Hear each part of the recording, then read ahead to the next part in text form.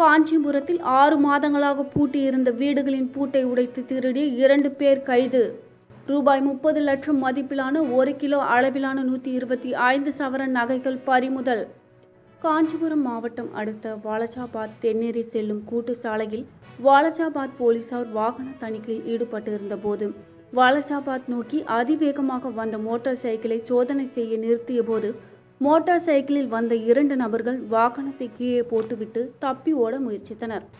அவர்களை போலீசார் மடக்கி பிடித்து விசாரித்த போது அவர்கள் திருச்சி மாவட்டம் துவாக்குடி மலை சமாதாபுரம் பகுதியைச் சேர்ந்த சிங்காரவேலன் மற்றும் வேலூர் மாவட்டம் காட்பாடியைச் சேர்ந்த மணிகண்டன் என்று தெரிவித்தனர். மேலும் போலீசார் தீவிர விசாரணை மேற்கொண்டதில் கடந்த ஆறு மாதங்களாக வாலஜாபாத் வாலுசெட்டி சத்திரம் காஞ்சி தாலுகா விஷ்ணு காஞ்சி மற்றும் ஒரகடம் ஆகிய பகுதிகளில் பகல் மற்றும் இரவு நேரங்களில் பூட்டியிருந்த வீடுகளின் பூட்டுகளை உடைத்து சுமார் ரூபாய் முப்பது லட்சம் மதிப்பிலான ஒரு கிலோ தங்க நகைகள் மற்றும் ரூபாய் இரண்டு லட்சம் ரொக்க பணத்தை திருடியதாகவும் தெரிவித்தனர். மேலும் பணத்தை செலவழித்து விட்டதாகவும் தெரிவித்தனர். பூட்டை உடைத்து வீடுகளில் திருடிய நகைகளை மறைத்து வைத்திருந்த இடத்தில் இருந்து நகைகளை போலீசார் கைப்பற்றி பறிமுதல் செய்தனர்.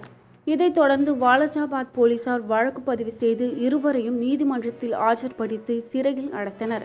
வழக்கினை தீவிரமாக விசாரணை மேற்கொண்டு உரிய முறையில் நகைகளை மீட்டு கொண்டு வந்த போலீசாரை காஞ்சிபுரம் மாவட்ட காவல்துறை கண்காணிப்பாளர் சந்தோஷ் மணி வெகுவாக பாராட்டினார்